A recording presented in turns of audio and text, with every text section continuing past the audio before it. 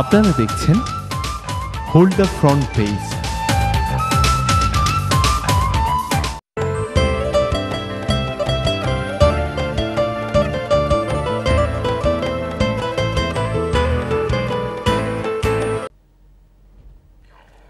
প্রিয় দর্শক, বিরতির পর আবারও আপনাদের সামনে ফিরে এসেছে হোল দ্য ফ্রন্ট পেজ অনুষ্ঠানে, সর্বশেষ সর্বশেষ সেগমেন্ট নিয়ে।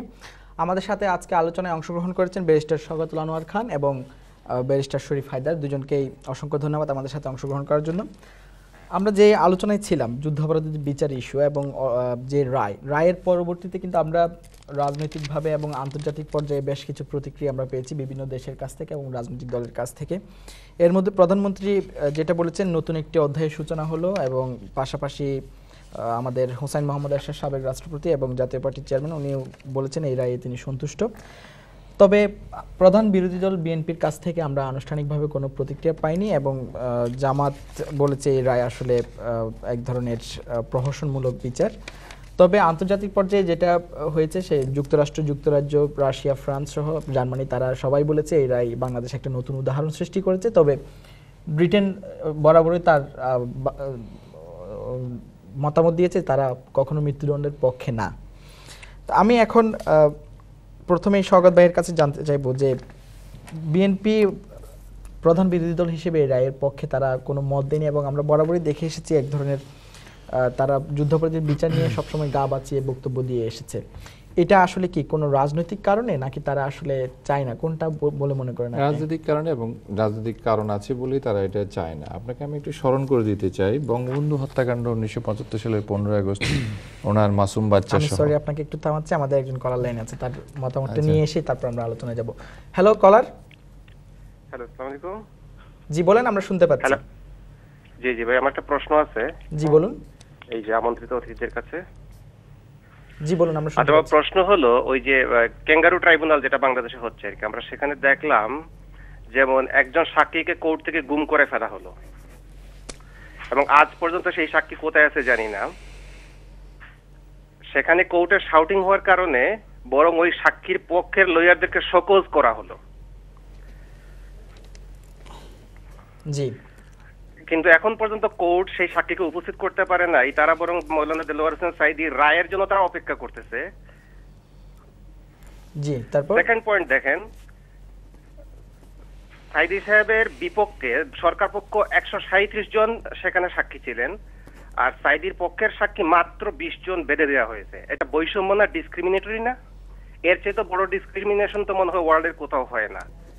আরেকটা জিনিস দেখেন সাইদি সাহেব যখন সিরিয়াসলি অসুস্থ ওনাকে ওটিতে নেওয়া হবে অপারেশন থিয়েটারে উনি যাওয়ার আগে উনি একবার শুধুমাত্র ওনার ফ্যামিলি মেম্বারদের সাথে দেখা করতে চাইছেন।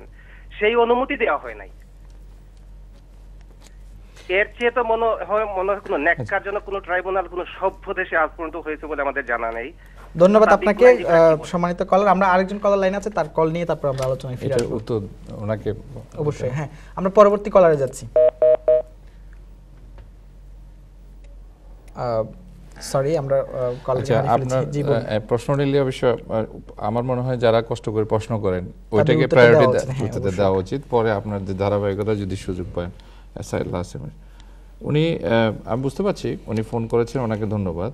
সাইদির মামলার বিষয়ে বলেছেন যে প্রথমে সাক্ষীর যে বিষয়টা একশো তিয়াত্তর আর বিয়াল্লিশ মোটেও সঠিক নয়। সরকার পক্ষের বা রাষ্ট্রপক্ষের সাক্ষী অনেক বেশি কারণ সেটা স্বাভাবিক অভিযুক্ত যারা অভিযোগ করে তাদেরও না সাক্ষী থাকে। এবং পৃথিবীর এই প্রথম বাংলাদেশেই একমাত্র বিচার হচ্ছে যুদ্ধ অপরাধীদের বা তার জন্মের সময়ের বিরোধিতাদের যারা চরম অপরাধ করেছে তাদেরকে সাক্ষী দিয়ে ডিফেন্ড করার সুযোগ। এক্ষেত্রে ট্রাইব্যুনাল শেষ করে নুরেমবার্গ ট্রাইব্যুনাল টোকিও ট্রাইব্যুনাল অন্যান্য যেসব ট্রাইব্যুনাল হয়েছে পৃথিবীতে যুদ্ধাপরাধীদের বিচার প্রশ্নে কোথাও কোনোখানে একটা প্রেসিডেন্ট নাই যে সাক্ষী দেবে তার অপরাধীর পক্ষে সাক্ষী দেওয়ার সুযোগও ছিল না। সেখানে নাম্বারটা স্বাভাবিক কারণে বেশি কিন্তু আমি একজাক্টলি মনে আসতে পারছি না সাক্ষী। সুতরাং এটা উনি আহ, কিন্তু এই ক্ষেত্রে সাক্ষী গুমের একটা হ্যাঁ সেটা আসতেছি। আমি আমি আমি আমি আমি নোট করছি আপনাকে। সাক্ষী গুমের বিষয় না শুক্লাল বালা বোধহয় শুক্লাল বালা প্রথমে প্রসিকিউশনের থেকে লিস্টেড একজন। আপনি খুব মনোযোগ দিয়ে শুনতে হবে যদি মাইন্ডটা ফ্রি রাখেন। প্রসিকিউশনের পক্ষে সাক্ষীর লিস্টে ছিল।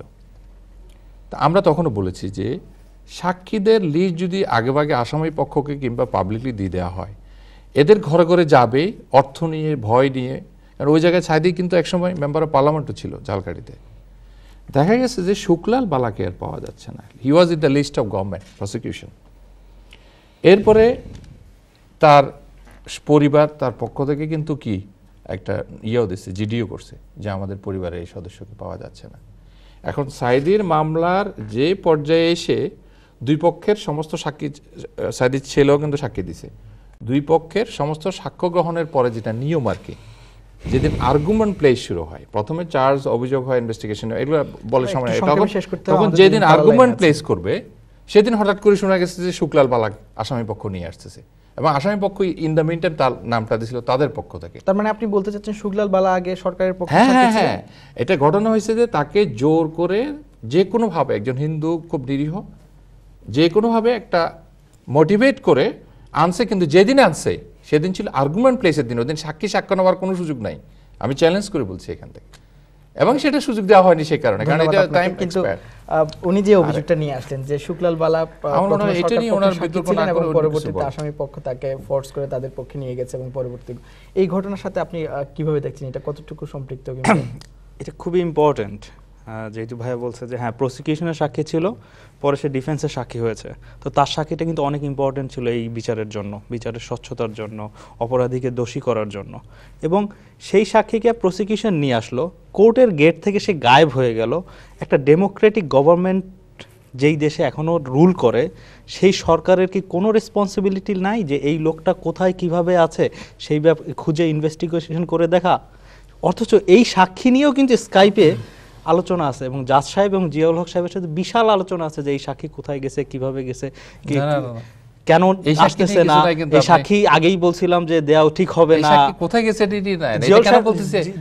আমি শেষ করি।